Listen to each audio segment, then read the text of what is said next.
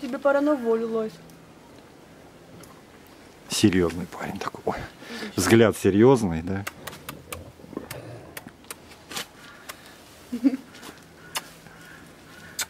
Вот как его выпустить, да?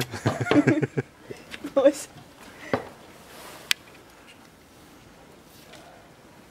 А надо, да.